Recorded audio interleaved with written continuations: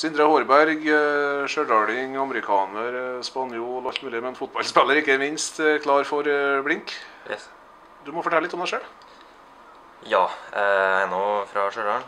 Jeg har eh, bodd i Spania store deler av livet. Jeg har eh, nettopp fullført eh, studiet i England, og nå er jeg da hjemme på Stjørdal. Det er du.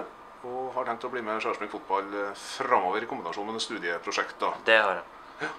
Som spiller, eh, Sindre, hva kjennetegner deg? Ehm, det vil jeg si kanskje en hurtig spiller. Teknisk.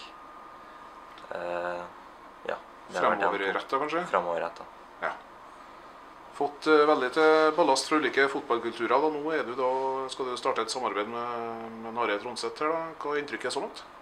Ja, jeg kjenner Nare litt fra før, ja. så jeg liker Nare veldig godt.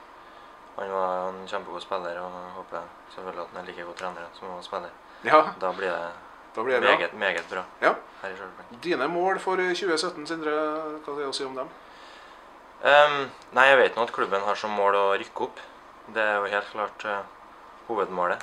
Og uh, mål for meg sjøl er jo å spille meg inn på laget etter hvert og uh, gjøre en veldig bra sesong. Så her er det bare å gi jernet. Det er det absolutt. Velkommen tilbake da, til Ja. Fotball. Takk.